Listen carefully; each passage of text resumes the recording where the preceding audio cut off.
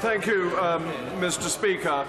Uh, will my right honourable friend confirm unequivocally that after the 29th of March 2019, The European Court of Justice's writ will no longer run in any way in this country, and that any new laws that are agreed under the Acquis Communautaire after that date will not have effect here unless agreed specifically by Parliament. My, my honourable friend has actually raised two separate issues, but elided them to, uh, together.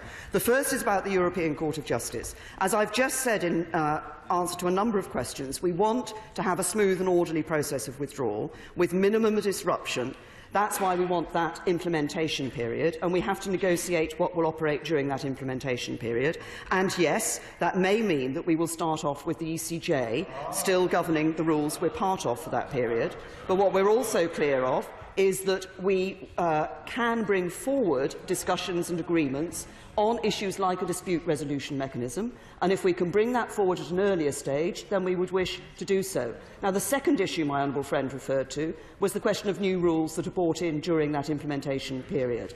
Um, given the way that things operate, it is highly unlikely that anything will be brought forward during that period that hasn't already uh, started discussions through the European Union, to which we are being party of until we leave, and on which we would have been able to say whether there would be a rule that we would sign up to or the rule that we would not wish to sign up to.